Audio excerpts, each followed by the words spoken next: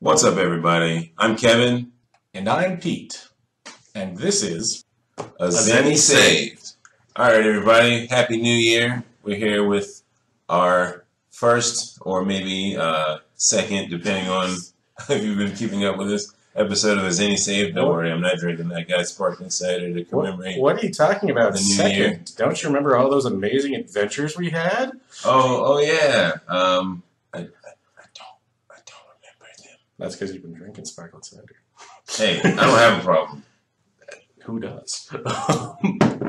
But um, we just wanted to do a 2015 retrospective. And if you don't know what a Zenny Saved is about, this is basically our little uh, video game channel where we talk about games and the way we score them is we talk about what we think you should pay for them. So rather than using a 1 out of 10 or 1 out of 5 star scale or something like that, we tell you what should you pay for this game. So is this game, you know, a full $60 purchase or is it less than that? Should you wait for this game to come out for on twenty bucks or something like that? Mm-hmm. Or you know, DLC games, should you pay the asking price, whatever that is, or should you wait for a discount? That's right. And the nice thing about this retrospective is we're going to be talking about games that definitely at full price were worth it. Yeah, Uh, but we've also got a few games that, uh, even if they go down to the penny bin, you maybe should pass it by. yeah. Some games they sh- they shouldn't even be paying you to play them. You should just keep them moving. Amiibo Festival. It's all right. It'll never be all right. I'm sorry. We're on Team Nintendo. Better straighten out. So let's get started. What do we got on our list today? Um, I'm gonna just run down the list real quick, and then you can run down your list, and then we'll jump in. all right, that sounds good. So my list of the best games for 2015 that I played are Metal Gear Solid 5, Bloodborne, Batman Arkham Knight, DMC Devil May Cry Definitive Edition, Rocket League, and Oddworld New and Tasty. Okay, you- you're going to have to talk about a couple of those selections with me real quick. Oh, I know, Um, but give me your list real quick. all right, my list uh, again: Metal Gear Solid Five, Phantom Pain, phenomenal game. Uh, Tales from the Borderlands. Uh, it's probably Yeah. my contender for Game of the Year, to be honest with you. Wow, okay. uh, Super Mario Maker, Splatoon. I see, we told you we were on Team Nintendo here, and Mhm. Star Wars Battlefront, which I think a lot of people don't necessarily agree with. Yeah, that's interesting.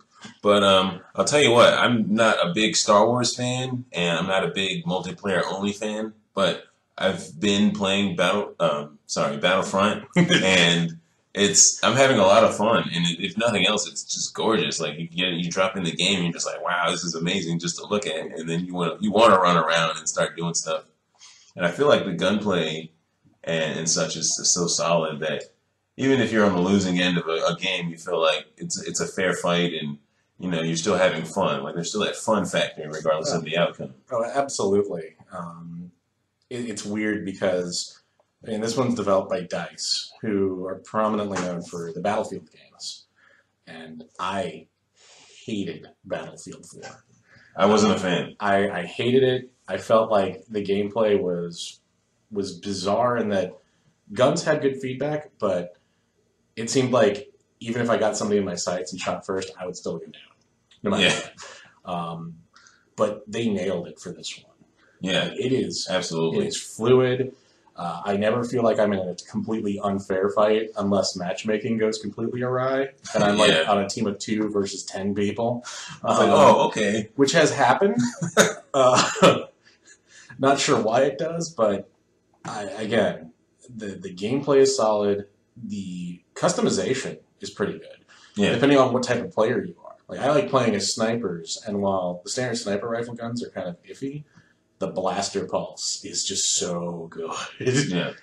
Uh, so Battlefront's definitely on there, and I actually went ahead and got the season pass for Yeah. that as well.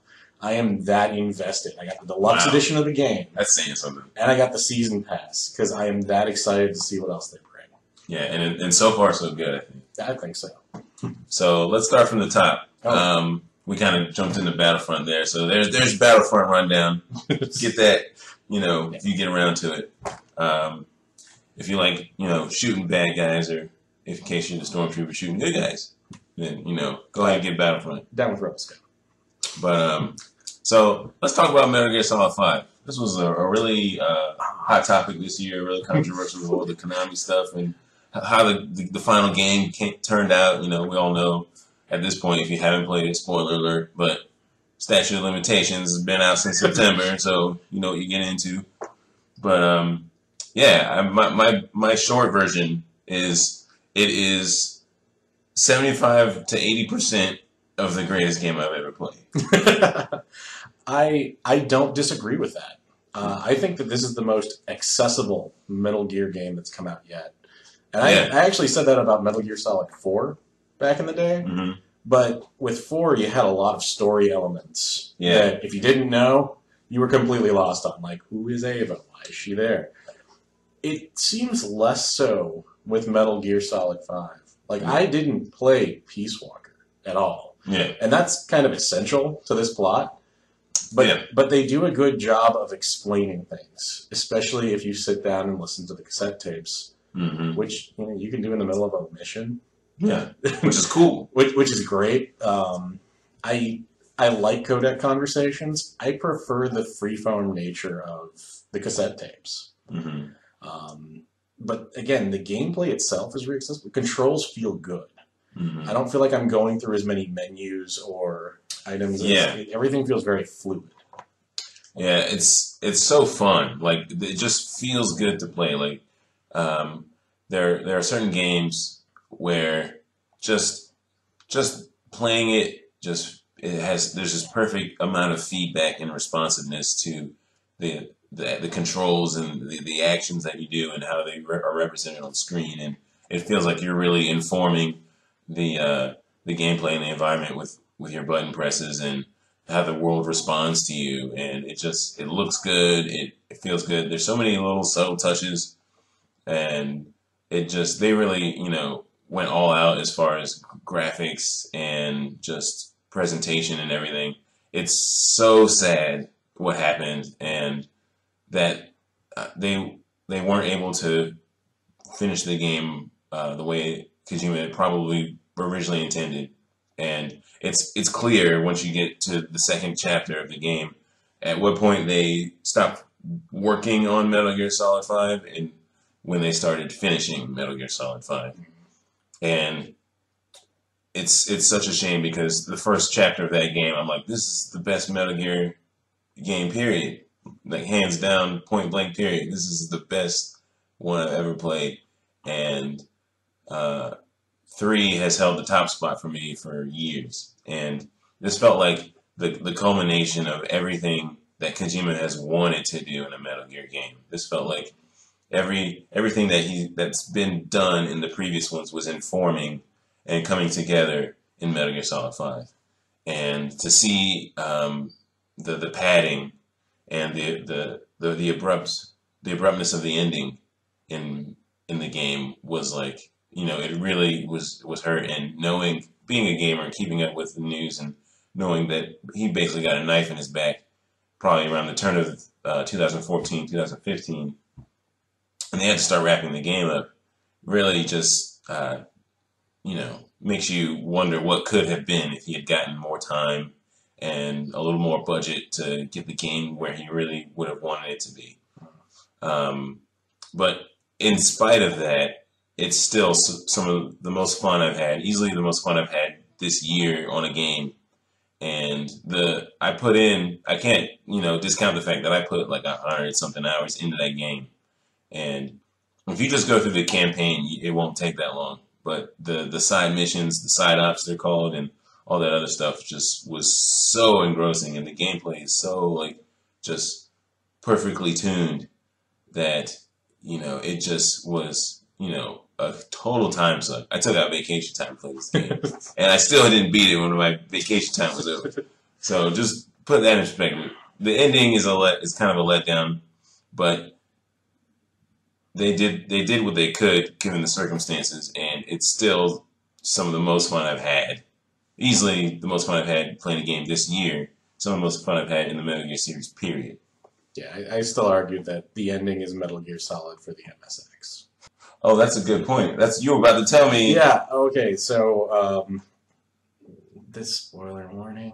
Um, so you don't play as Big Boss in this one. You're actually playing as a soldier who was brainwashed into being his copy. Like, amazing surgeons fix his face and everything. Um, so here's how all that plays out. The Venom Snake, the guy that you play as in Metal Gear Solid 5, is the big boss from Outer Heaven in Metal Gear from the MSX. And he gets killed, which is why in Metal Gear 2 Solid Snake, Big Boss is back. That's the original Big Boss, Yeah. who then fakes his death in Metal Gear 2. And later, when they like say like they've talking about Big Boss's body in the other Mhm. games, that's actually Solidus, Yeah. and that's how that all works out. Yeah. I don't know. I don't know why people are so confused. It makes sense to me. I mean, it's not like it's a convoluted series of the games made over the past twenty years. Makes perfect sense. People are all like, I don't understand Metal Gear's story. It's confusing. I'm just looking at them like, what? Didn't you read the notes? Like, what? Didn't you play the game five times like I did? What are you talking about? it's a matter of principle. You got to come in well educated, Yeah. but less so for five than all the others. And Actually, yeah. and uh, with the exception of the ending and oh yeah, Metal Gear Online. Yeah. Uh, that was a feature that uh, wasn't at launch. They added it in and then basically said, "We're out." we we did it. You got it. So So, enjoy. okay. Um, They said they'll be back next year. Well, this year now. Sorry, they'll be back this year with Yeah, more yeah. support, content, whatnot. But we'll see. yeah, that, yeah, we'll get back. But the game as it is, you know, So the next item on your list uh, was actually on on my uh, backlog list for this year. oh, okay. So tell You're in for a me, tell me about the joys and wonder that is the sunshine and happiness world of Bloodborne. Bloodborne is a great all ages, E for everyone game about. I'm sorry, I can't even continue with that. So that's not true at all. It's M-rated What? title It's from from the, the guys who, who gave you Demon Souls and, and Dark Souls. also Infinity. family friendly games. Also family friendly games, especially for young kids who are just getting into games and are learning, you know, mechanics and the biases of of uh, early, you know, gameplay. You know, give it to them, and totally appropriate for your your favorite uh, niece or nephew. But okay, but seriously, so this is you know one of those games that is notoriously difficult and uh, will will punish you and just you know kind of teaches you that death is a part of life. Uh, I'm sorry, I, I want to play this. Okay, go on. Yes, yes. It, it will it will chew you up and spit you out, but in a good way. It's it's very difficult in, in a way that is immensely satisfying. Okay. So the the mechanics are tight, rock solid. You know, so it's not like you know you're you're getting cheap deaths where you don't know what happened or you don't you, you're not trying to you're not really understanding what's going on or the game hasn't established the rules of of what's going on. Like it it brings you in and it tells you up front, okay, this is how you play, and now the game is coming to get you. So it, so it's not cheating at PlayStation. No, it's not cheating at PlayStation. Uh, you just got to get good. You just gotta get good. Oh wow. And so, so it's funny because the game literally starts out. You wake up uh, off this like hospital bed in some kind of bizarro gothic infirmary, and there's a werewolf eating a dead body, and you have no weapons yet. So you die. Oh, You're, you're level one, and you have no weapons. So the werewolf kills you. It's just gonna happen. And then you go to this other realm and you get your your gear and your weapons and then you go back and then you're like, okay, I can fight back now. So from the beginning the game is like, you're gonna die. Hmm. Well, uh, that And- sounds a lot like in Demon Souls. Yeah. You get to the end of a bridge and there's an ogre and you die. Yeah. But it's it's a little tighter, a little faster than Demon Souls, where Demon Souls emphasizes uh, shield defense um, more so. Uh, Bloodborne emphasizes evasion and, and rolling and diving out of the way. Um, a lot of twitchy response. So people who who like Devil May Cry will maybe like Bloodborne. uh, it's difficult in a different way, and it's a, probably even less forgiving than um, than a Devil May Cry. So where you know if you if you get hit once, there's a really good chance you're gonna get hit two, three more times. Um, so you really need to pay attention to bad guys. Need to bait out their attacks. Um, see what their attacks are before you move in for the attack for the kill.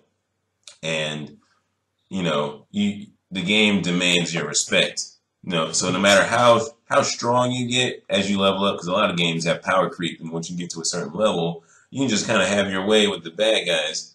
But in Bloodborne, it's always about survival. No matter how much HP I got, no matter how strong I got, there's always someone around the corner waiting to mess you up. You can go back to the first level and play those bad guys. And if you get sloppy, if you relax a little too much, they can still take you down.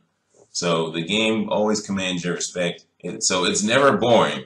And the level design is, um, while incredibly labyrinthine, still you never get really lost. It's usually easy to find your way back to where you need to go.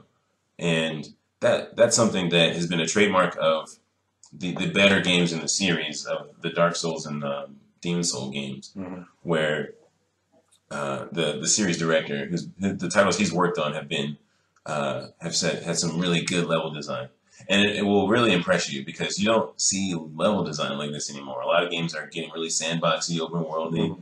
and just while they are, I'm not going to say they don't design those levels. I'm not saying that.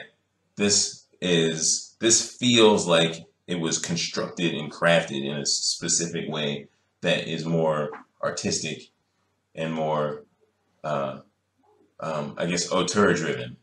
See, I, I definitely appreciate that type of level design compared to let's just make it a sandbox game and then we'll just reuse Just the same in. assets over and over. and Right. whatever. Or it'll be a, a randomly designed sandbox world Yeah, that's never the same way twice. And I really miss well crafted levels that take into consideration, you know, you might be using these types of weapons, you might be Mhm. using these types of weapons, you might be this type of player. Yeah. Well, you might be this type of player, now you gotta think like this other type of player. So Yeah. and it it it was cool going in, um, not knowing what to expect, and then seeing how things fit together because you feel you go you get going a little bit. You know, you're about 20 minutes in, and then you hit a checkpoint, and then you're another 30 minutes in, another 40 minutes in, and you're like, "Where's the next checkpoint? Yeah, where are these checkpoints? I'm they need to stop playing. I need to get another checkpoint. And then you come back around to your last checkpoint, and it was connected to this whole other area this whole time that was Oh like, gated off. And now this whole area is opened up to you, and you're just like, whoa. so all this fits together. And then as you really start to branch out, you know, it's like, okay, so this, these pieces fit together here, these pieces fit together, and, and then these all connect and there are just the right amount of checkpoints for you, you know, to have a lifeline that sounds like for you, so you don't feel like you're getting cheated, Oh. you know. Oh. So the game is still brutal, but it's like, but we got you though. As long as you, as long as you stay at it, we got you. So you're like, okay. So you're dying for the next checkpoint. So when you die, and then you're gonna die a lot, and then you just like, ah, dang it, I'm gonna, I gotta stop right now. As soon as you turn the game off, you're like, but what if I did? Oh, and then you gotta turn the game back on. I love games that the design is such that you play it, you love playing it, and then when you fail, you're like, oh, that's so frustrating. But I can do it. Yeah. Like that, I, I feel like that that is the type of gameplay that nearly dominated a lot of retro Yeah. games. And then in the more modern gaming era, there's been less of that. Modern Mhm. gaming era has been very forgiving. Mhm. And even even though you've mentioned a lot of checkpoints, uh, it doesn't sound forgiving at all. Yeah, it's it's it's fair. It's not forgiving, but it's fair, and the game expects you. The game has a certain expectation of you as a player, a certain level of competency. So nothing is impossible, but it says you have to rise to the occasion, and that is just you know some that's some of the best gameplay. Now the issue is usually not lives, but checkpoint systems. Mhm. Where it is where how far back does the game set you? if you yeah. get into failure states. So this game, Bloodborne, balances uh, you know, save points and, and checkpoints, you know, pretty much perfectly. And it's, it's fun as far as uh, the challenge it expects from you. And it can get frustrating wondering how far you have to go before you find another one. But then you find one you've already had, or you find a new one at just the right time, and you start to see how it all fits together. Um, easily a full price sixty dollar game. It's probably thirty bucks by now. Yeah, Um, and then there's extra DLC for. And there, yeah, there's new DLC. Yeah, the Old Hunters Okay, is out now. Um, I haven't played it yet, but I'm definitely gonna. all right, that sounds great. And it's it's it's worth every penny. Um, so I didn't give a dollar value. Metal Gear Solid Five, sixty dollar game. I got 150 hours out of that game easy. Oh yeah, I, I I think that again, naturally, the games that are on our best list are just full price. If you can get them at that, great. If they're on sale, even better. But you know, Yeah. like these are By all means, get a, get a deal, but which they're they're worth asking price. which That's what we're leads, which leads us to the next one on your list that that I actually disagree with. Oh, okay. Um, but Batman.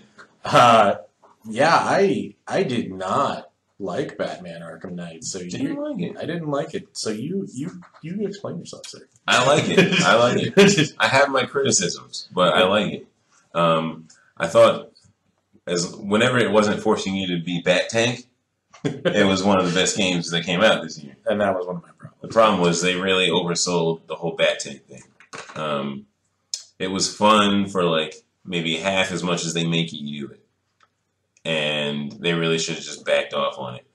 Um, it could have been a, a nice new feature for for Batman to have, but they made it a core gameplay mechanic where you're just fighting drones and you know it was like, oh, all right, The, okay, the I get Riddler it. race. Yeah, The Riddler race. the Riddler races. Yeah. I kind of like the Riddler races. I mean, they're completely implausible. There's no way he would be able to construct those things, but we're accepting that a man runs around dressed as a bat. like a storyline wise, never didn't die in the first 14 Um, minutes on his first night out. There's just one particular turn that you have to make in one of the Riddler races Mhm. that is near impossible in third person mode. But if you go into first person mode, it actually changes the hitbox to the car, and there's Huh. no problem with it whatsoever.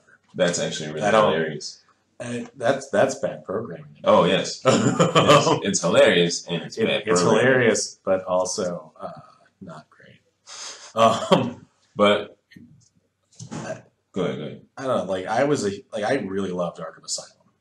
I loved Yeah. the first one, Yeah. which had oddly enough uh, labyrinthine le- level design, Mhm. but it was also well constructed. And, uh, again, tight corridors, that sort of thing. I liked that. Mhm. And then Arkham City came out, and it was sandbox. I was like, oh, okay. Well, that that's doesn't mean it's it's bad because I, mean, I like sandbox games like Yeah. Theft Autos and the Saints Roses.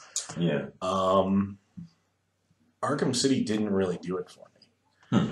And then Arkham and then Arkham Knight is more of that to me, Mhm. but with a tank. and then the tank was busted. Mhm. So for me, I was like, well, so uh, walking in, I was like, well, here we go again. Still Christmas? Okay, still Christmas. Why not? Because they always take place during like Christmas, Christmas time. Your Christmas There's time. reasons. Um, well, Batman and snow goes well together. Yeah, they just like making it snow. I was And- gonna say. And on the consoles, the game visually stunning. I mean, Yeah. let let me- before we go anywhere else, great looking game on consoles. Yeah. So broken on the PC. Yeah, PS. This is my my PS4 uh, gaming experience here. This has nothing to do with the PC version because we know that was a complete disaster, and there's just no excuse for any of what what happened. So if you have the console version, you're in, you're in good shape. I, I think the polite way PC of putting players, it, I'm sorry. the polite way of putting it would be a clusterfuck. Yes. Um, The- It- putting it charitably. it, and on the PS4, I mean, I ran some glitches as well, but Yeah. nothing, nothing where it would bother me. Nothing like I want my money back. Yeah, I had nothing that made me want my money back. I was just like, mm, Right. You know that happens. These Batmans. But I'm, I'm glad that you liked it. That's, how I am about a lot of games. Like, I'm glad you liked. I played it. I was satisfied by the time I got to the end of it. I was like, "There's no way I'm going to get all this Riddler trophy so I can get the good ending. I'm not going to do that. I have I have real things to do." There's YouTube, Uh, yeah, which is what I'm I just gonna I watched it on go YouTube. find the uh, the Let's Play YouTube ending. So yeah, not, not disappointing. it. It wasn't disappointing me. I was just like, okay, more Batman. Yeah, Good for you. yeah. So, um, and and uh, I was just I do want to point out that this doesn't speak so much to the top tier quality of this game as it does to the lack of competition in 2015's uh, game releases. So it's a little from column A, a little from column B. This was a solid game on console, but there wasn't a whole lot out there for it to go up against. So as far as what I played, you know, this was one of my more satisfying, um, better experiences. If Uncharted 4 had made it out this year, then that'd probably be a different story. But here we go. And the next item on your list, you also got to defend a little bit for me, Mhm. only a little. DMC Devil May Cry Yeah. Definitive Edition, the remake of DMC, which came out a year and a Two half, years two, years, ago. two years ago at this point. Yeah. Um, So- why should people buy it again if they haven't bought it already? If you have, if you haven't bought it already, but if you did play the the 2013 version, this is like if you're really into action slash Devil May Cry games, then you should get it. Um, if you if you liked the the 2013 version, because I know a lot of people that just straight up liked it, no complaints whatsoever, and I know a lot of the fan base just reacted horribly against all the changes they made. Just, it was a you know this game I think it moved like hundred thousand copies or something in its Yeah. first week or first month. It was terrible. Yeah. and um, but I, I felt like I got it. I was on the fence until up until it came out, and I decided to go and get it. It was forty bucks. I was like, okay, forty dollars HD. I got rid of my old version already. I'll get it. Um, and all the DLC and unlockables in the game are available as soon as you pop the game in.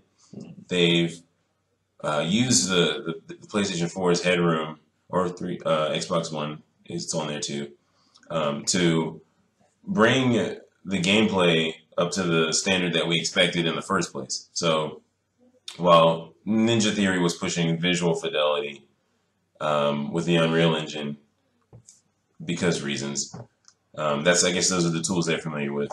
Um, we didn't get our 60 frames per second. We didn't get um, you know certain you know touches that you expect out of Devil May Cry difficulty, um, that kind of thing.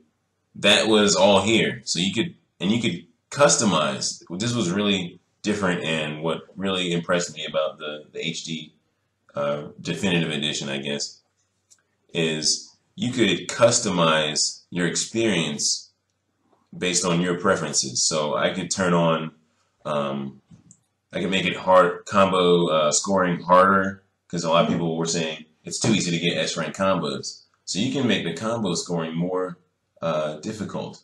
You can, um, it's in 60 frames per second. You can put turbo mode on so the game is even faster, like it's even more Oh frenetic. So uh, when you're fighting bad guys, Dante and the enemies, just aside from the frame rate being smooth, they move quicker. The action is more fast paced. So I had turbo mode on. I didn't put the hard combo mode on because I like getting those S ranks. I, just, I, like, I like ranking up those S rank combos. Gotta feel good about Yeah, it makes you feel good. But uh, it's in 1080p, so it looks better than ever. Um, and you could customize. It had all the unlockable content from as soon as you turn the game on.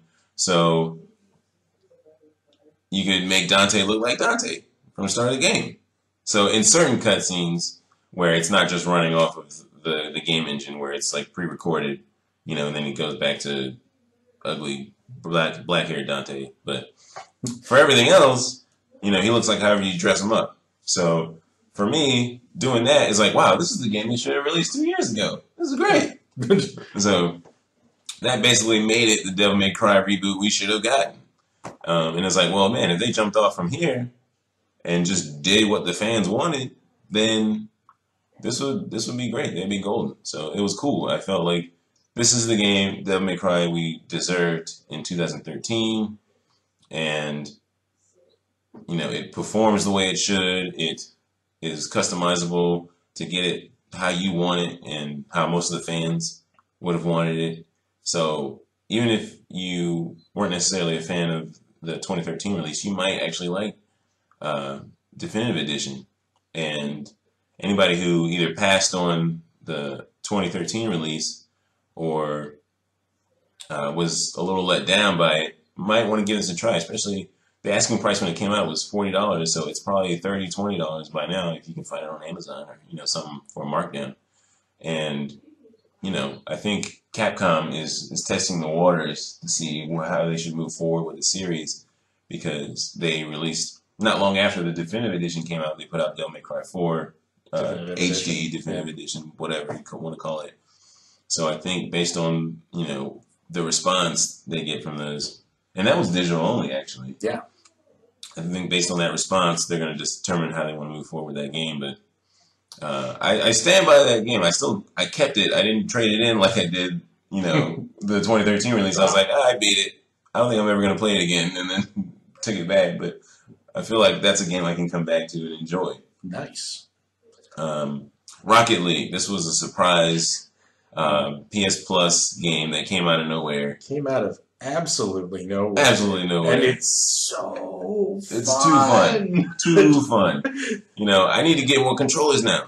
Like that's how fun it is because I have I have two controllers, and I want to be able to have four player parties. You know, when friends are over and just go crazy, and you can play with bots or play online or play couch co op or couch uh, competitive mode, and it's just so fun. And it you you play a, a car.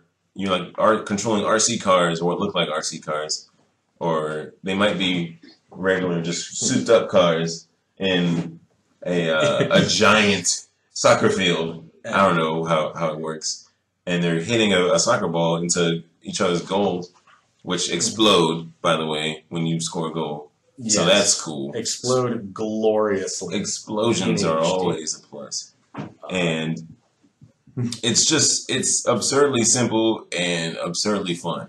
You know, you're like, hey, what if soccer had cars in it? And then they just did that. Uh, I remember when I was a little kid, actually, like I had an RC car. A buddy of mine had an RC car. We had a soccer ball, hmm and like we would just draw out like a soccer field in a parking lot and play with that. That's And that was actually really fun. cool. And it was like that was super fun. And it's like, oh, they made a game like that, and it's so simple. Like you said, it controls so well. The Yeah. controls are fantastically tight. Yeah, controls are tight, graphics are sharp. it's not as it's not as clunky as controlling an RC car. It, it's Yeah, it- thank it's, It's glorious. You can run up the walls. Yeah, You can do- the rings, the the stadium uh, soccer fields have walls and ceilings, and you, you can drive up and down them. And You can do flips and tricks. There are ways to hit the ball around. You, you can slide into it. You can steal. It's again, it's soccer with cars, and It's- it's, brilliant. it's super fun. It came out at twenty dollars. It was on PS Plus when it first came out for free, um, but it's totally worth twenty dollars. If I didn't have Plus, I totally would have paid twenty dollars for this game. Same here. Um, I recommend it to everybody. Um, it might be cheaper than that now because it's been you know maybe six seven months since it came out. Um, just get it. It's too much fun. Just just get Rocket League if you haven't already. And the last game uh, on my best of list is Oddworld New 'n' Tasty.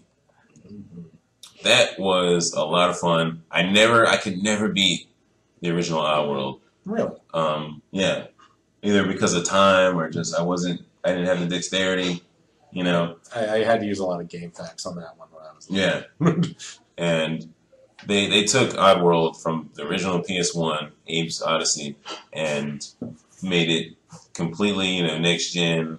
Uh, it's got 3D graphics. It's still left to right, right to left, side scrolling, but the graphics are nice. Um, 1080p.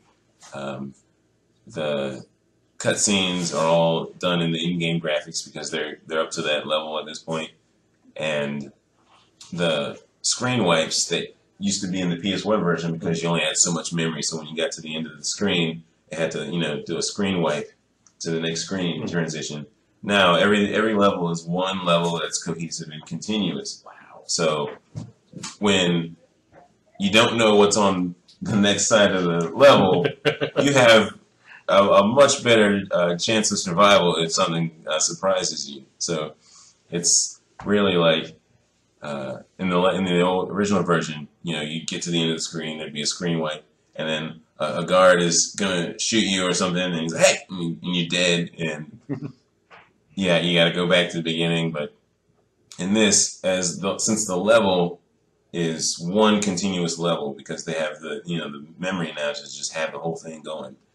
Um, you can really adapt and think on the fly and respond to the gameplay uh, in a seamless way because the whole level is there and is reactive and doesn't there's no breaks in the design and that made a world of difference in, in how I play the game.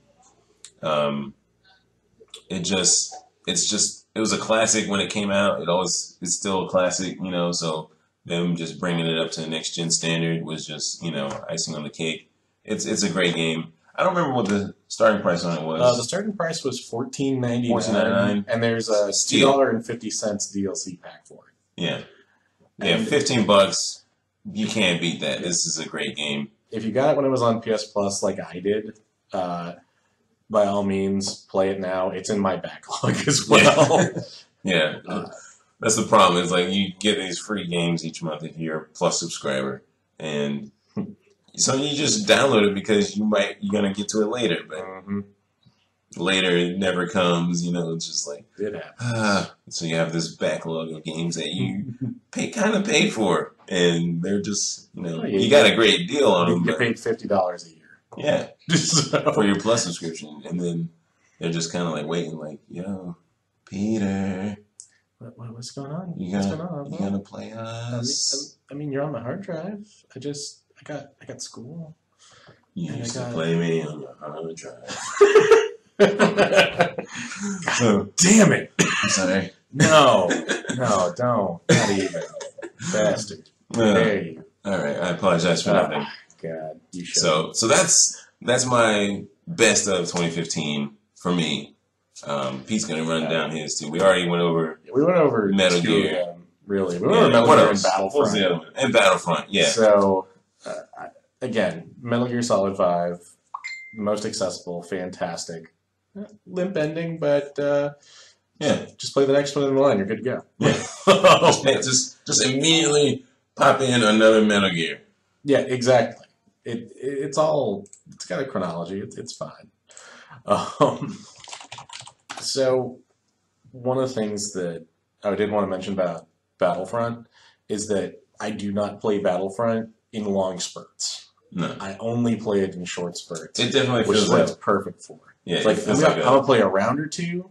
Depending on what mode you play, that can last anywhere from five minutes to like half an hour. yeah, But I'm like, you know what? That, that's good. I can go out on top. Yeah, I feel good about that. yeah. That's that's what it's really great for. It's really about is pick up and put down gameplay. And it, it does have a series of unlocks for customization, like character customization of weapons, that you have to reach a certain level, and then you have to have the credits to to actually buy it. Which you know, I'm right now I'm level 46, four away from that Shadow Trooper uniform. I want it. I want it so bad. Um, but they've had double EXP weekends. yeah. Uh, they had one for Christmas. They had one for when Force Awakens came out. I Mhm. guarantee you, when Force Awakens comes out on DVD, they'll have They're gonna have one. something. And May the fourth is probably, Probably also gonna be going to a be a little double something, EXP maybe.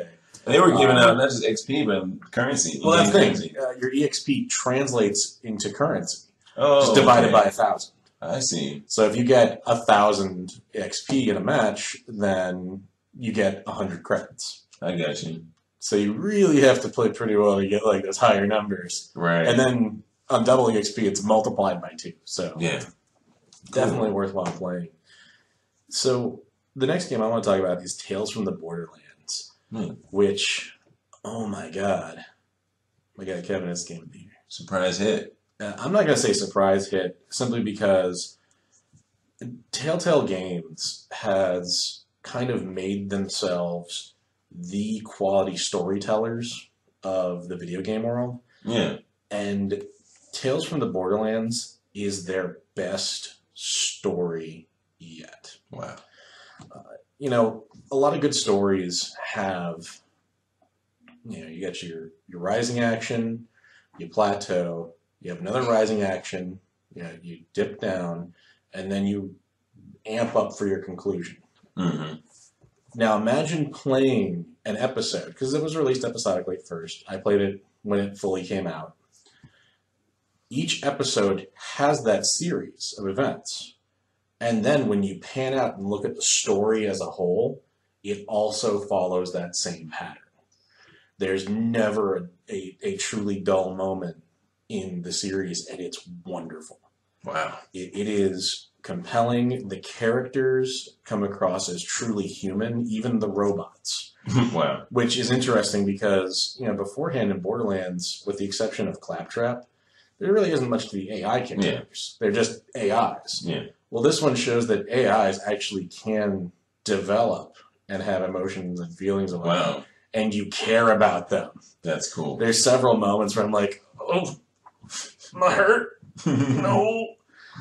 Uh, the voice acting was amazing. Troy Baker, the man who's in everything that Nolan North isn't, yeah. which is funny because Nolan North is in this one as well. so Staying employed, Um, baby. Staying employed. They're both fantastic. Um, the woman who played uh, the young girl from The Walking Dead also plays a character in this one, and again, she steals the show. Hmm. She doesn't show up till like episode three, and she steals the show. Oh my god! um, but again, five episodes. It's a complete story. It- again, Telltale gameplay is pretty t- pretty typical. Uh, kind of point and click with some quick time events thrown in there. This one has a lot of great Borderlands style to it because again, it, it it uses the Telltale engine, but it has all of the visual effects that you would expect from a Borderlands game, Hmm. and it, it even pulls models from Borderlands to put in, like claptraps Oh, in there, That's cool. loader bots from the pre-sequel and Borderlands 2 are in there as well. Uh, as, as are certain certain Borderlands characters that you may or may not have played as. Um, I don't want to spoil the story at all. It's so good. Again, it is. I I paid full price for it. Game of the year, ten out of ten, A plus. Go play it. Would do it. Would play again. I would. Yeah. Uh, simply because I didn't. I actually played through. I didn't unlock everything that I could Yeah. see because Wow. there's so many choices that you can make that actually genuinely affect gameplay. Wow. That's cool. And the the amazing thing is, it actually does feel like it's the segue into Borderlands Three. Like if you don't play this game, you might not understand some of the things that are happening in Borderlands Three. Hmm. So if you're a fan of the series, which I am, Yeah. uh, That's absolutely There's, there's incentive there. There's, you know. And of course, another amazing performance by the guy who plays as Handsome Jack. Yeah. yeah, yeah. He he's back too, but that's all I'm saying. Cool. What's your next game? I, I've got the next two titles are for Nintendo Hey Nintendo, what's up? on the We Wii see you. U, which which you know a lot of people sat here and were like, "Ah, the Wii U's release this year was was bad. yeah. Yeah, Star Fox was delayed. And, uh, Devil's Third turned out to be bad. And it's bad, but in an amazing sort of way. uh, so first up, Super Mario Maker is brilliant. yeah. It- That's that's what I'm I'm getting from that game. So a lot of people joke around and they're like, well, Nintendo's just like, uh, we're tired of making Mario games, make them yourself. Uh, there you go. Which, I mean, if Nintendo was lazy about it, that's exactly what they could have done. They could have Yeah. been like, here's our assets for Mario 1, Mario 3, Super Mario World, and New Super Mario Brothers Wii U. Yeah. And be like, there, yeah. Go go have fun. do what you will. We don't care. Um, but they do.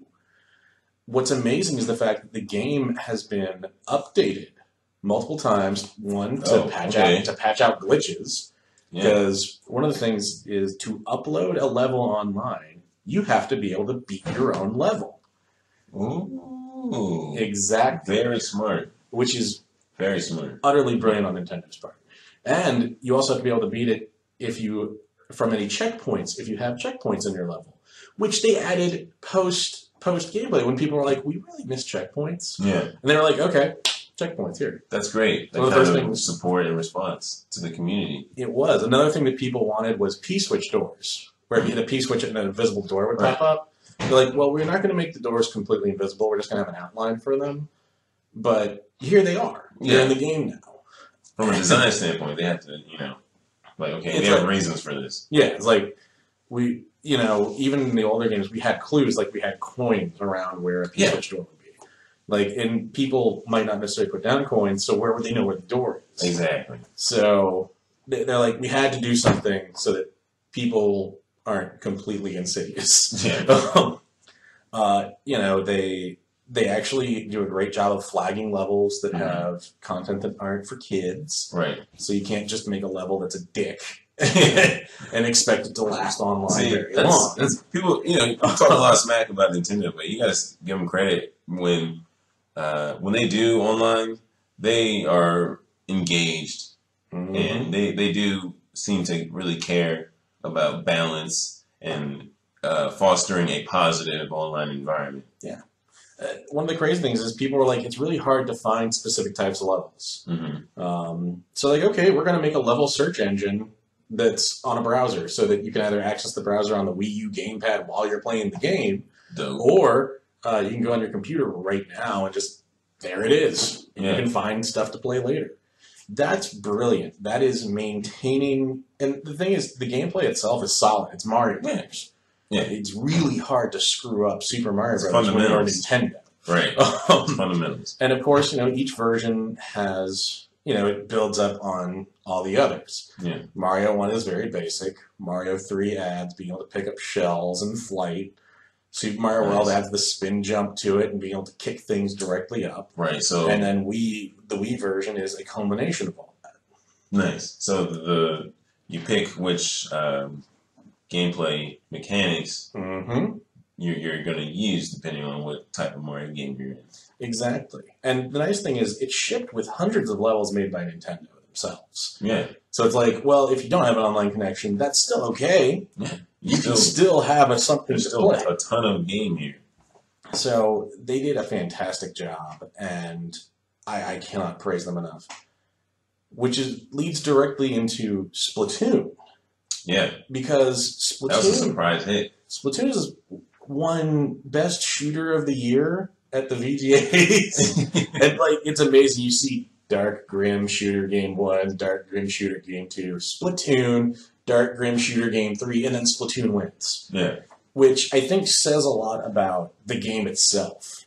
Yeah. Um, it, just the basic mechanics. I got the game at launch, hmm and I was like, the core mechanics behind the game are fun, which is you shoot ink, and whoever at the time the main gameplay mode was whoever has the most ink on the ground wins. Yeah. And you can swim through your own colored ink to recharge. If you get hit by enemy ink, you lose health, which you can regenerate by going back Back into your own ink. Yeah. Um, or if you're just walking through their ink, you go very, very slowly and are vulnerable. Yeah. And you can't just swim through, you actually have to go back into kid mode. Yeah. That's so much better and more interesting than just shoot guy, guy fall down, you know? Like, Which, which is funny because that's what Battlefront is. Right. Um, but, like being what it is, it's cool. But For- exactly. you know, game of the year material, you know, you, you you have to step it up. And Splatoon, first of all, the level designs are interesting. There's a lot of verticality to levels, which is fantastic on Nintendo's part. They've always done platforming very well, mm-hmm. and they've incorporated platforming extremely well into Splatoon's shooting mechanics, where depending on what type of player you are, you can get up front and personal with somebody, like if you have a paint roller, or you can find a very high point and snipe people using their equivalent of a sniper gun, yeah. which, again, these are basic gameplay mechanics that you would expect from those types of shooters, but it's so well done. Yeah. Nintendo did such a great job, and it's so much fun. There's a lot of charm to the game. Hmm Yeah, they, they designed it based on kids who hang out in Akihabara listening to rap.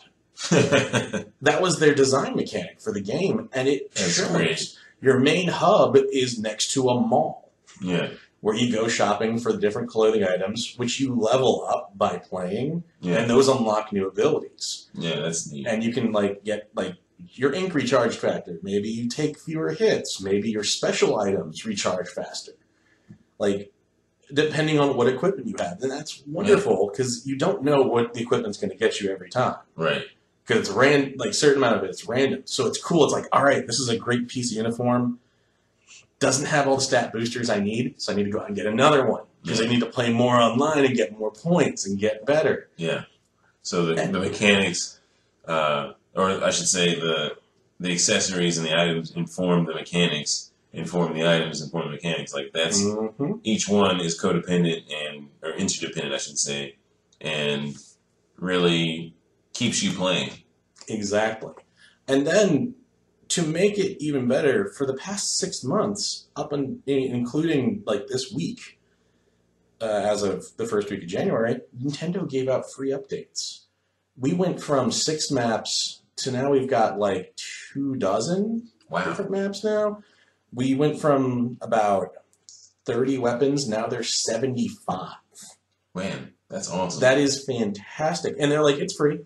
Here you Just, go. just update your game. Play the game. You And then- this game. So they're they're not going to be doing as many major updates like that anymore. But they've said that the weekend Splatfests, Right. where you choose a team, Yeah. where they're like cats versus dogs or something like that, some silly, and you just play. And based on whether you win or lose, you add points to your column and your team. Yeah, that's some serious groundwork as far as just online support. That's like really putting in the goodwill towards, Mhm. towards the user base. So Splatoon is just a fantastic game that they did such a great job with. Yeah, Uh, I again, excellent. I think the game both both sets of games from our list again full price. If Yeah, if, if you can get them on sale, fantastic. But if you had to pay full price, you're not going to be you won't be disappointed. disappointed. Not even a little bit. Which is funny because now uh, we're, we're going into our disappointments of 2015, The disappointing. which I think that, you know, for the most part, it was a pretty good year.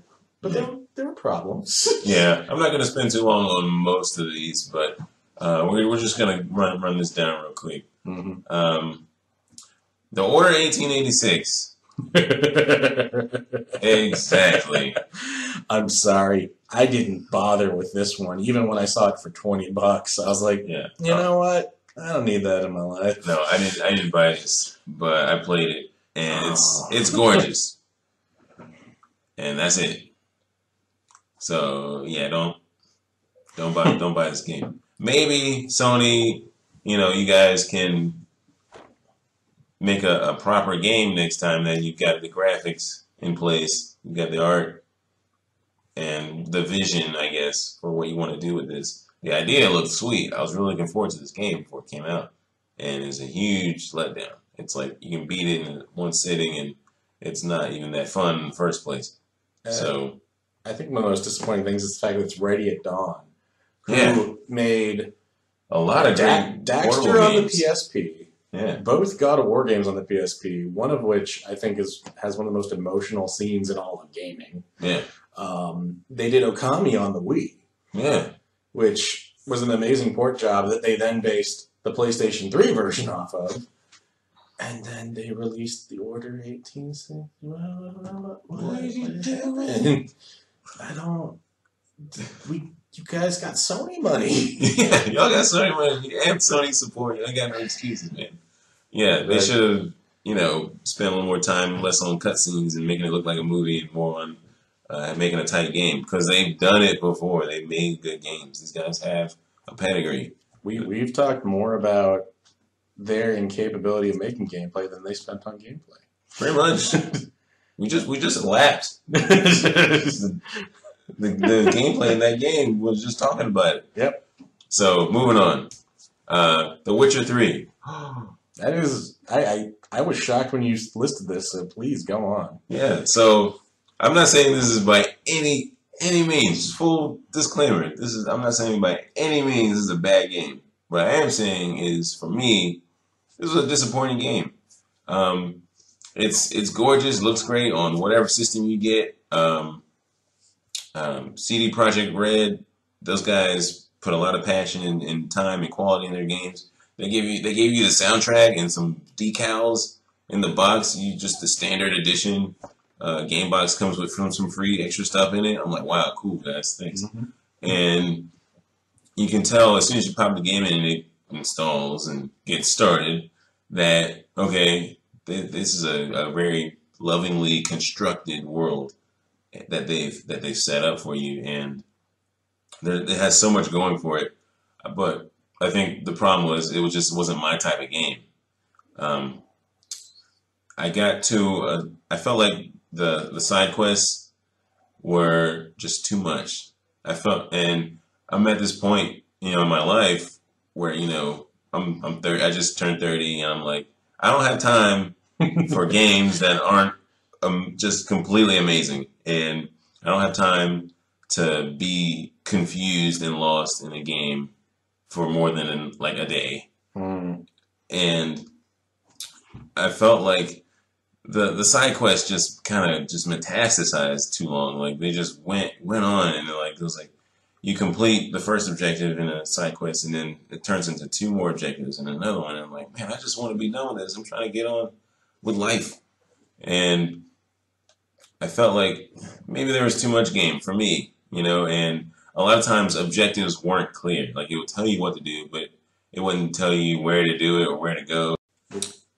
If you're not sure how you feel about those kinds of, if you haven't played a Witcher game, you don't know how, if you like it, um, maybe try to get it at half price or forty bucks, so you don't get too burned if it's not for you, not working for you. I, I think you're going to see some similar complaints in terms of that type of gameplay from a game that's on my list. Yeah, and I feel like it's it's not usual for me to jump into games that I don't get into. I usually I try to uh, appreciate a large variety of games, so it's it's rare for me that I get a game that is not quite clicking or or do it, you know, hitting it in the right you know buttons buttons for me. But you know, every once in a while you, you get one. You know, even if it's really a really great game, game of the year material. Speaking of not quite uh, clicking buttons and not quite hitting things right, what what's Konami doing lately? Um, I don't know. Nobody knows. That's not true. We The do know. pachinko.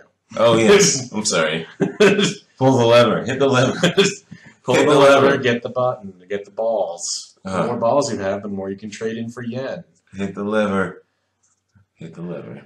What what was what was the phrase from the Silent Hill pachinko? Um, erotic horror action, something like that. Was it really? I purged They it immediately after I watched it. Um, so you have some grievances with Konami Yeah. year. That that was that, that's my other disappointment. One of my other disappointments for 2015 is Konami. Uh, the entire company. Uh, hashtag fuck Konami. Hashtag fuck Konami. Um, they just, I don't know, they just ran their game division straight into the ground. I don't know what they're thinking. You know, they spent the last year completely destroying any credibility and goodwill they had left in the gaming community, abusing the hell out of their teams. Uh, most notably, you know, killing their golden goose, Hideo Kojima. Shout out to Kojima. Uh, thankfully, he's landed on his feet and has moved on to better things and has a, a relationship with Sony where they respect him and the people he works with, and he has an environment where uh, he can create and just uh, move on to the next thing. And you know, they just I don't know what what is going on over there, and they he's contractually uh, basically contractually obligated not to speak on it, so he can't just you know Yeah, tell us even. what's going on or what happened.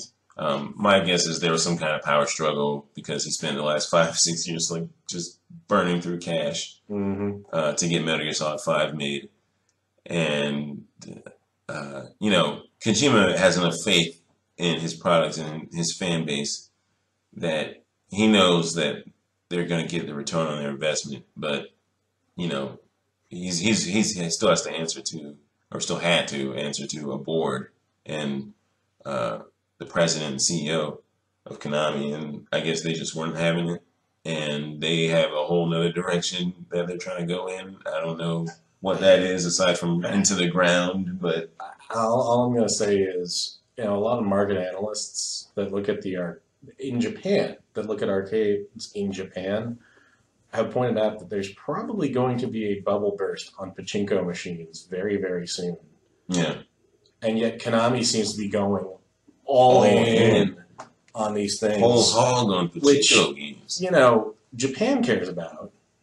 I don't know anybody in America who's ever said, let's go play pachinko. Nah, Eh, Nobody. no, that's Um, not a global market. And this is even sadder for those of us who like retro games. Yeah, You know, your Castlevanias, your Contras, you're not going to see those again. Not Yeah. for a while. And it's even more crucial because a couple of years ago, they bought Hudson Soft. yeah. So games like So? Bomberman and Bonk's Adventure, Well, what's gonna happen? They're just gonna sit on those licenses. the, nothing has happened with Bomberman, which is weird because he was so prevalent Yeah, for the past 20 years. He had multiple games on every system. if it had a screen, there was a Bomberman game on it. Even Bomberman Act Zero. Yeah, But the less said, the better. We can't blame Konami for that one. yeah, but, but it, it, it's baffling what their current market strategy is, if they have one. yeah, if they uh, can could just shed some light on what their plans are. So just not even to make us feel better, but just try to make sense of all this because nothing that they've done in the last year makes any sense to anybody. I, remember a couple years ago when Capcom decided to cancel a bunch of Mega Man games. Yeah, And then everyone was like, Capcom's going down. Nobody knows. But Capcom's still doing things. They're still studying. They're still making money. yeah, What Konami's been doing has been leagues worse than what Yeah, Capcom has done is- at any point. way beyond the pale. This is nothing. Even Capcom was sitting back like, dude, how, why would why would you do that? And it's weird because Japanese uh, console development and the creators behind those classic games we love, they've just been shoving those guys out the door over the last decade or so. And um, and Kojima was like the last one. He was like, you know, the last unicorn. He was also their vice president at one point. Yes. So, he was their vice president, right? so Until they threw him out. again, hashtag fuck Konami. You, you you were also disappointed with with Sony a little bit this year. Yeah, uh, not a whole lot of first party action this year. They came out of the gate with a couple games that were, you know, hit or miss. Bloodborne, dope. The Order 1886, nope. Um, and then the second half of the year was just kind of like, hmm, we'll let the third parties handle it. And I don't think any of those games were exclusives. So it was just kind of like, you know, we're just going to ride our momentum off of our launch success and our sales numbers and let our games that aren't quite ready yet, we're just gonna let them cook a little bit longer. We're gonna push, hold off on Uncharted. We're gonna, you know, so some of these games, you know, understandably, they're not ready yet. But my question is, okay, so how how is how are things prioritized as far as the 2015 release calendar? Because they didn't really have anything going on this, you know, second half of the year, and you know, a lot of these games we just have to wait, you know, the next couple months for, to get them but you know, at least you know, Star Wars Battlefront, you know, keep me busy for a little bit. Not exclusive, but it'll keep you busy. Not exclusive. Again, you know, Gear guess- Solid Five. I guess they just made some calculated executive decisions because you know they're like, "Hey, we're outselling Xbox almost two to one. We don't really need to be present this holiday season. Just gonna We're gonna put some good stuff on PS Plus, and we'll let you decide. and we'll just let you handle it." Yeah, um, actually, even thinking about next year, there's Uncharted Four in April. yeah.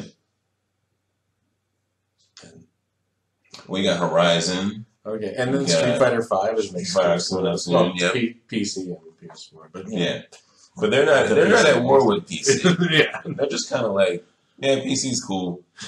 PC can do this too, but Y'all You can know. do whatever y'all want. if it's third party, they can have a PC game, But PC they're- version. Make your money.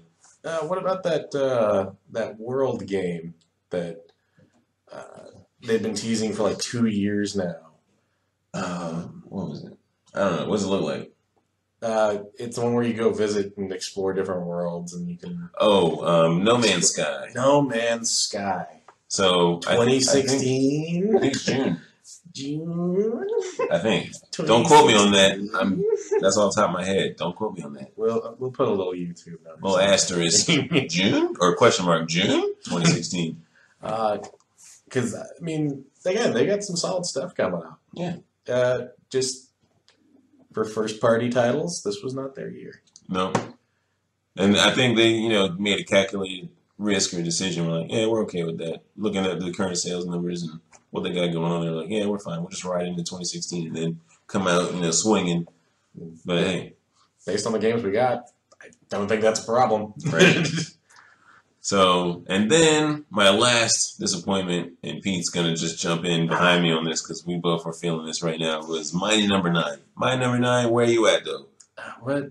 What, What was the last thing we heard about this game, Pete? So, okay, so it was announced 2013. They said development was going to take like a year and a half. So they said maybe end of 2014, early 2015. So of course people were like 2014. Mm-mm. That didn't happen. Um, then they said June, June, June of of, this year. 2015, and then they said July of 2015. And they actually had pre-orders for signature editions of the game, which included like the first batch of DLC. They got canceled. Okay. Uh, like retailers canceled those pre-orders.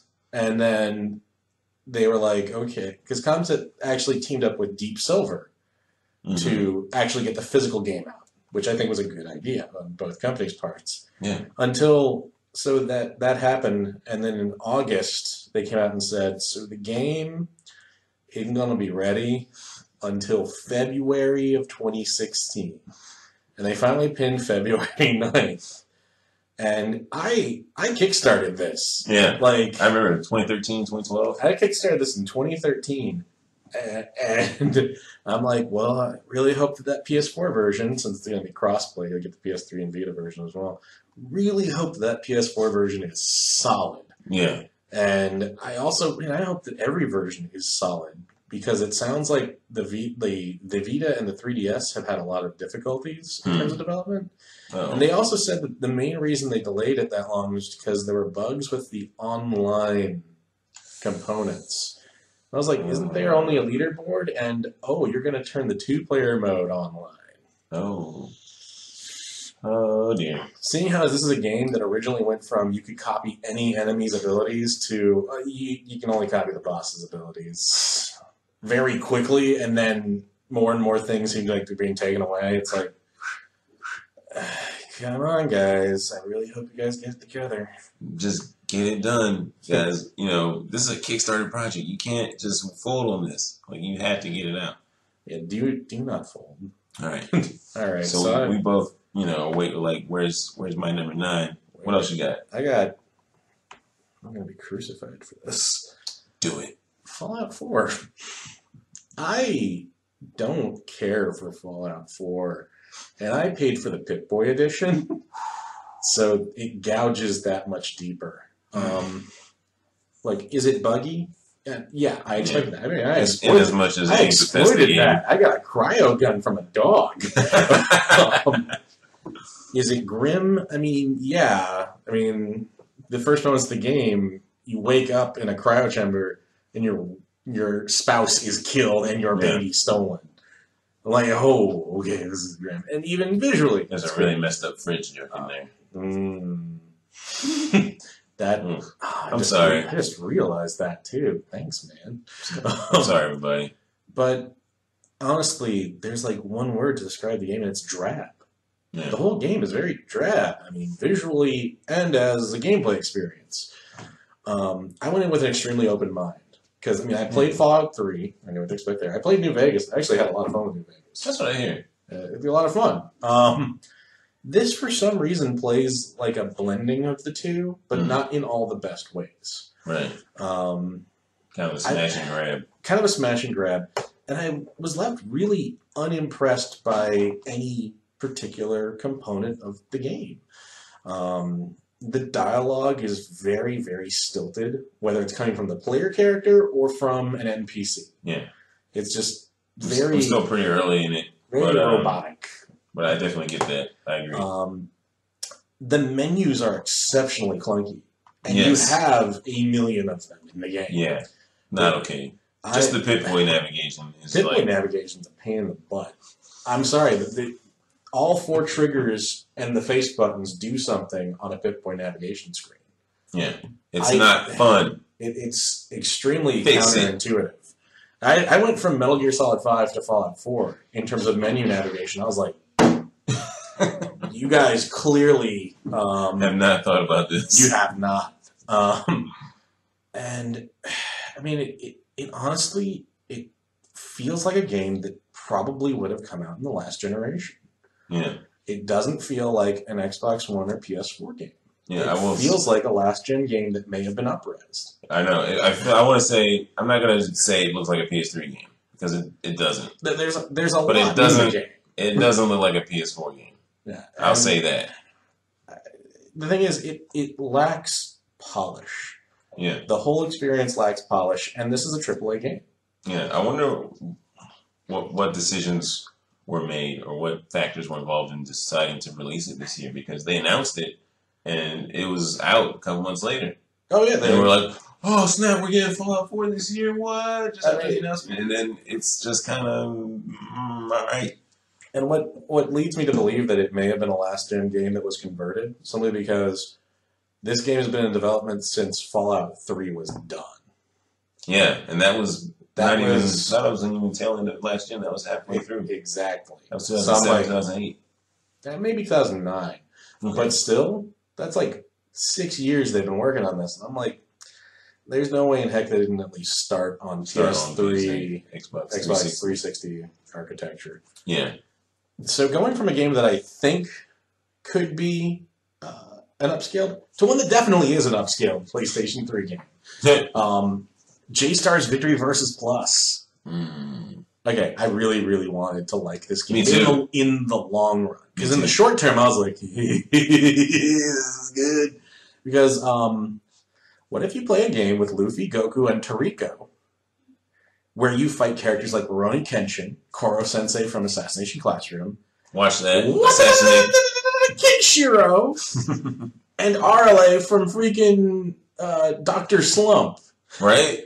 Come on. Like, that, doesn't that sound like an ama- she fights with poo on a stick? How Oh can you man, hate that? that's messed up. It's great. it's messed up and a powerful attack. How can you? That sounds amazing. Yeah. I mean, heck, everybody remembers playing J um, Jump Stars on the DS and loving that. This sounds so good on paper, where it's originally printed, and yet, it, actually playing the game, it's really disappointing. Yeah. It's a two v two fight, two v two simultaneous. Mhm. You choose two characters, and then the other person or the computer chooses two characters. You can't switch off between your characters. You only play as whichever one you select before the battle. Which I thought was kind of weird, but I was like, okay, the computer's capable enough to handle itself. Mhm. I'm not constantly rescuing my computer partner. Yeah. So that's not horrible. And when you do two players on the same team, it goes in the split screen right down the middle. That's good. The arenas are huge. Now, normally I wouldn't complain about huge battlefields, but this is literally just four people getting into a fight. Yeah. I don't need to have an area the size of a pretty large level on like a PlayStation 2 game. Yeah. And that's what it is. Like these levels are Like a like an avenue block. Big. No, Like or like I would say there's an couple of them. entire downtown. You actually fight in one of these games, wow. and it it's really like the the gameplay breaks down to dash into your enemy. Whoever gets off a good combo and hit first knocks them further away from them. Dash up to reach up to the to their tumbling body, and then try to punch them into a corner until they're dead. And that's it. And if you're a character that doesn't have a projectile, you're kind of Uh, at a loss. no. So Luffy's one of the most powerful characters in the game if he can get a hit. I mean, which is weird. The online is solid. It plays well. It plays at 30 frames per second. It's just extremely underwhelming for what should be massively uh, just this bombastic experience. Yeah. And everybody character every character plays the same. There's a jump button, a weak attack button, a heart attack button, and a special button. Every character has three special attacks. They just hit the O button, forward plus the O button, or jump and then the O button. That sucks. They just really it- just plugged in uh, a template, and you know, Which sideline is also my complaint for the 3DS Dragon Ball Z fighting game that came out this year. Yeah, where everybody has the exact same move set, so it doesn't feel like anybody's different from one another. no, And that's what they did for this. And honestly, uh, it doesn't matter who you play. it doesn't as. matter who you play as. It gets very boring and repetitive. And then when you go through the story mode, you're stuck with a certain set of characters. Yeah. And you have to play with those certain set of characters. And that gets boring. And then they want you to fully complete the story mode, do that four times with four sets of characters. Yeah. No thank you. Pass. Uh, hard pass on that. So, next is a game that is on the 3DS. Either the game by itself or it comes with an amiibo. And that's Chibi Robo Ziplash, hmm which is kind of a clever title because he's, the, he's got he's got his his plug in his butt and it zips up into his back and he lashes with. Ah, that's adorable. Um, the In game has slightly inappropriate way. it, the game has fun elements, but it is also really, really flawed by some weird design choices. So imagine if Nintendo made Bionic Commando. Mm. Um, only Rad Spencer could jump a little, and hitting people with your claw could kill them. Like that, that sounds Yeah. solid, right? All right, cool. Um, well, that's But- the same core mechanic in Chibi Robo. Yeah. And he's a three point. He's had this is his fourth game. He is a established character in Nintendo since the GameCube days now. Yeah, He is a 3.9 inch tall robot, and in the past, his games convey that size with his sense of scale. So your world would be like a den or like a living room or a kitchen, and you're this big. you're this big, and you're wandering around these huge levels, which are like this game doesn't convey that at all. Uh, It makes some really weird design choices in terms of levels. It's a side scroller, which I would sit here and think as a side scroller, this big, you can still do things that give him his world and yeah. have him move around in it, but it doesn't do that. Some of them are really generic to the point where they seem like they were beta testing a level, and they're like, no, no, release that. Just put it out. It's fine. Like for some reason, there's an Egyptian temple level, Just apropos of nothing. just apropos of nothing, and because it's everything isn't out of scale, like trying to get up one step of this temple doesn't take anything. You just jump. It's like, oh. And all the enemies are in scale to you, with the exception of bosses. Yeah. So it's like, well, how big am I actually? Yeah, like, am I an action figure? Am I a G.I. Joe doll? Am I a person sized robot? And the only thing that gives you a sense of scale is when you pick up the uh, the advertising tie-in items that are hidden everywhere, like spicy hot Cheetos, or Oreos, or Japanese and German candies that I can neither pronounce nor have heard of. Uh, So it's weird that they've had corporate sponsorship in this game, but they've had the other ones as well. But in this case, it's the only thing that conveys a sense of scale, yeah. and it's Which really makes it look like it's the only thing they thought about. it does. And so the levels are all right. I mean, the Nintendo platforming, they know how to do that, and it's done well.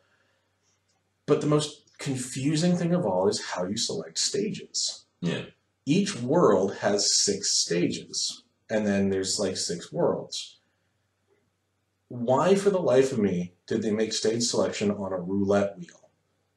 Which can skip you several levels ahead. Now, if this were a simple beat the world, you know, Yeah. beat once you go through one six, you beat the world, you move on to the next one, that might be fine, but you can't do that.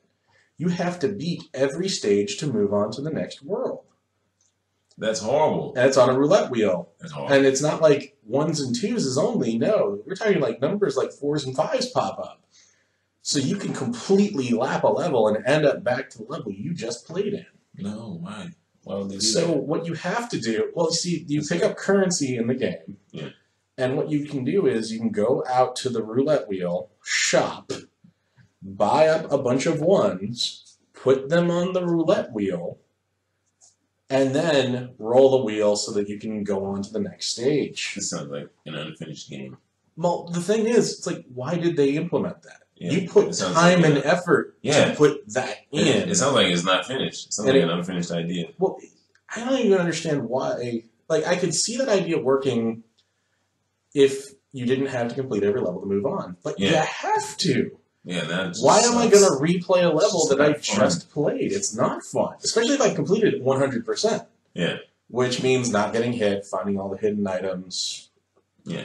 Like perfected it. doing a perfect job. And like, I've done that already. Why am I doing it again? It's just really poorly implemented.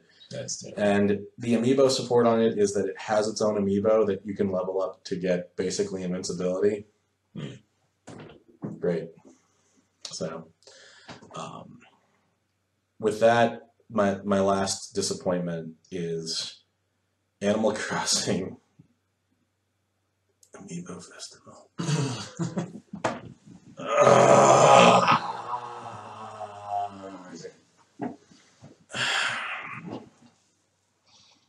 All right. Let it out. This game was sixty dollars at launch, and I've seen it on sale up like the week before Christmas on Amazon for thirty five dollars. It's too fucking expensive. It. So the game was created for one reason, and that was to sell amiibo toys. I like amiibo.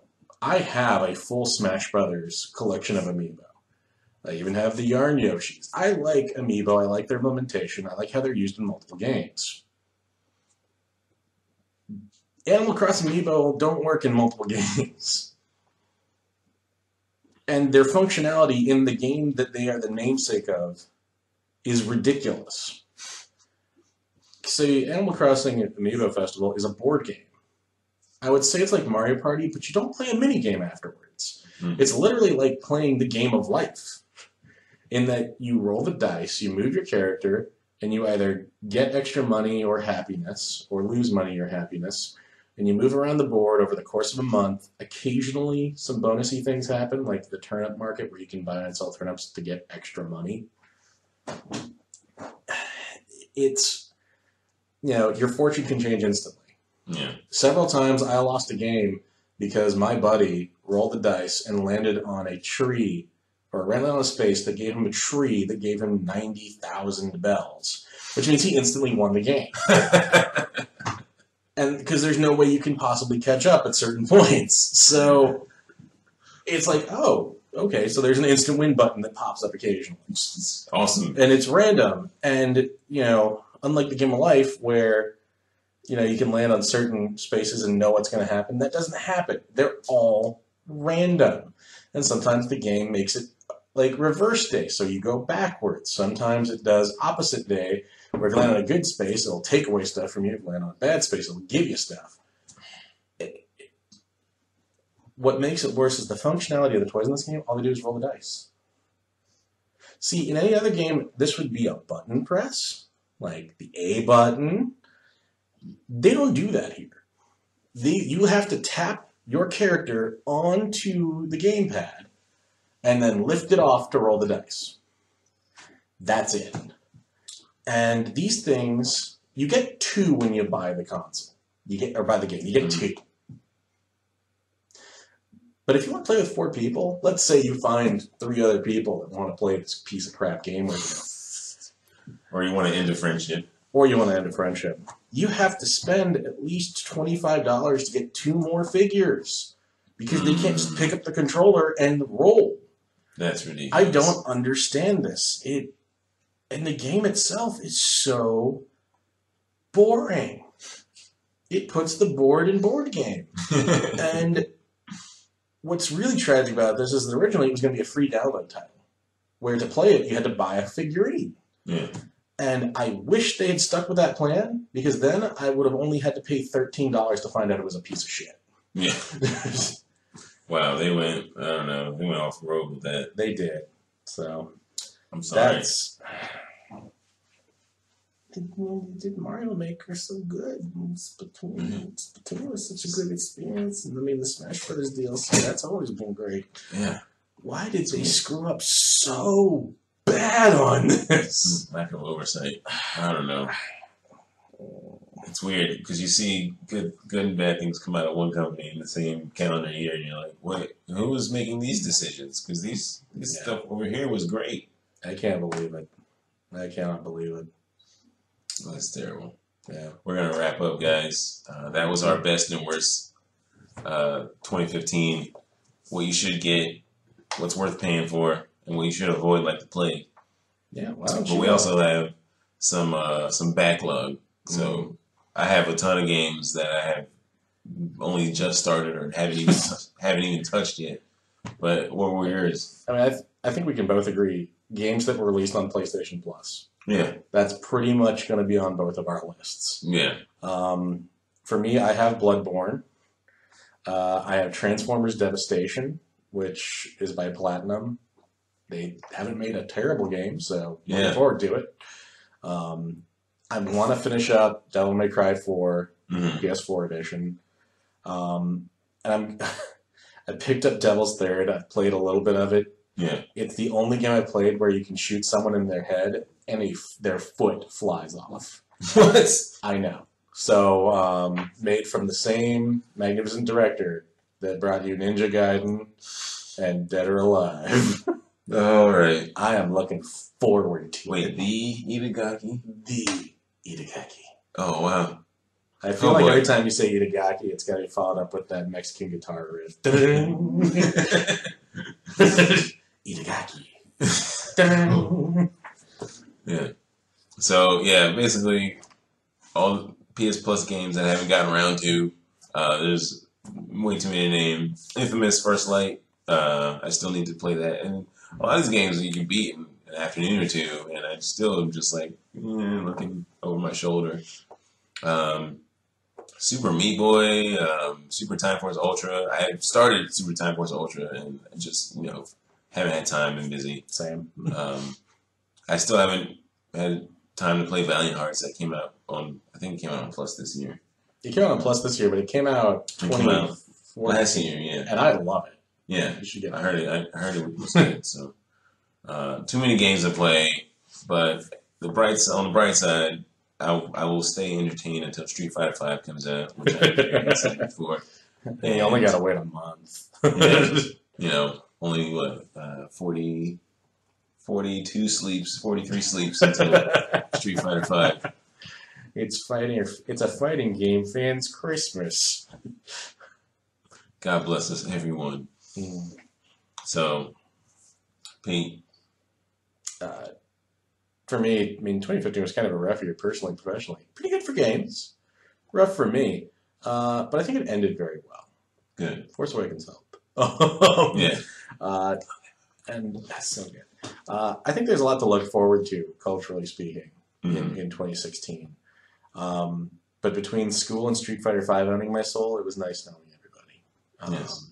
Hashtag SF Dan for five. Hashtag SF Dan for five. Hashtag SF Dan for five.